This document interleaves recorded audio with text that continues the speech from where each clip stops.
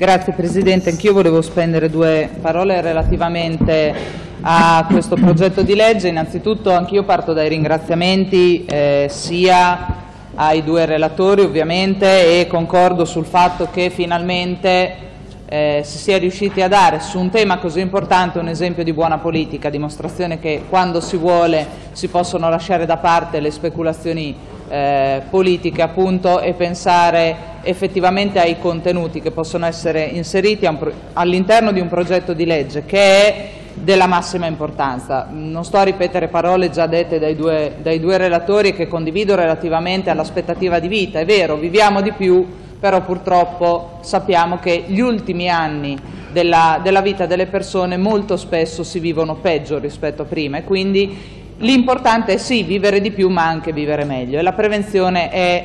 il primo passo. Eh, è ovvio, il tema era ampio, complicato, come spesso succede forse si poteva fare di più, ma sicuramente il metodo che è stato utilizzato e questo progetto di legge sono un punto di partenza ottimo per poi continuare eventualmente a lavorare anche nelle prossime legislature, a prescindere da chi governerà la Regione, da chi ci sarà seduto su queste poltrone, per poter migliorare ancora di più quello che è un ambito fondamentale che dovrebbe diventare sempre più importante nel corso degli anni.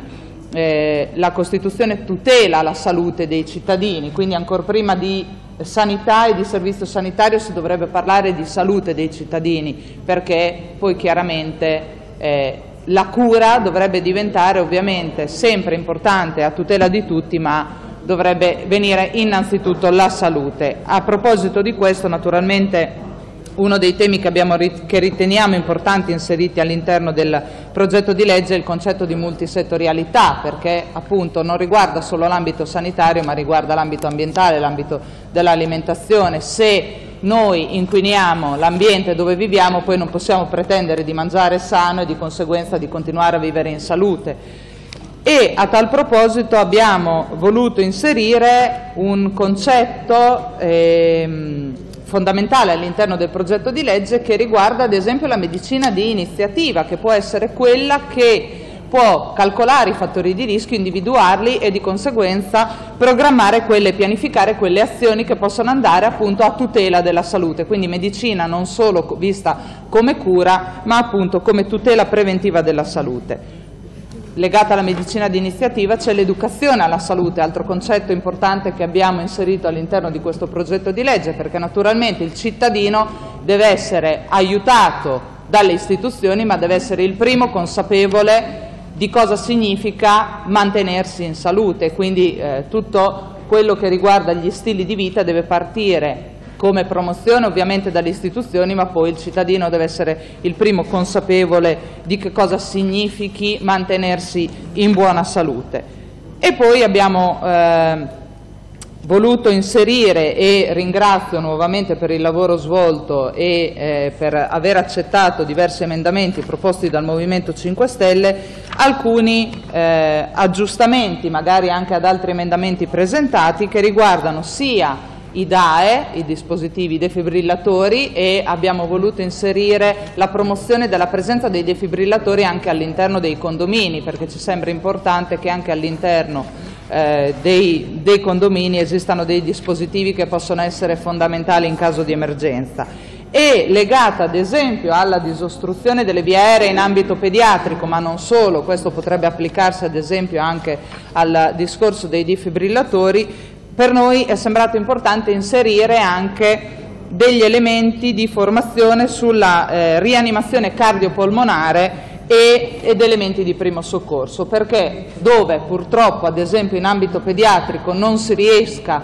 con le manovre di disostruzione pediatrica a far uscire il corpo estraneo dal corpo del bambino, in attesa che poi arrivino ovviamente i professionisti, è importante che ci sia qualcuno che siano sempre più diffuse le attività di formazione anche di rianimazione cardiopolmonare ed elementi di primo soccorso che in alcuni casi possono salvare la vita dei nostri bambini. A proposito di salvare la vita, naturalmente i eh, presidi ospedalieri che sono l'elemento in cui eh, curiamo i nostri cittadini, purtroppo è notizia di ieri che sono a volte forieri invece di eh, di malattie. Notizia di ieri 7.800 casi all'anno di morti per infezioni nosocomiali, questo è un altro tema che è sempre stato a cuore nel corso degli anni al Movimento 5 Stelle e ringrazio anche qui per l'inserimento di un emendamento che inserisce anche il concetto di prevenzione all'interno degli ospedali, ma proprio di tutte quelle, di quelle infezioni che possono essere correlate all'assistenza, perché ovviamente se ci si reca in ospedale per curarsi non si deve poi invece rischiare purtroppo la vita a causa di infezioni contratte all'interno proprio del, dell'ospedale stesso. Eh, concludo eh, nuovamente, insomma, eh, mi ripeto, ringraziando per il lavoro svolto, eh, naturalmente il, il voto, eh, così anticipo già una, la dichiarazione, sarà a favore anche degli, degli, emendamenti presentati perché comunque c'è stato un metodo di lavoro condiviso e mi auguro nuovamente che questo sia un primo importante passo per poi poter continuare così su questa strada augurandomi che anche in futuro sul tema della prevenzione e della salute ci siano sempre meno divisioni ideologiche e politiche, speculazioni soprattutto politiche, ma si lavori soprattutto sui contenuti.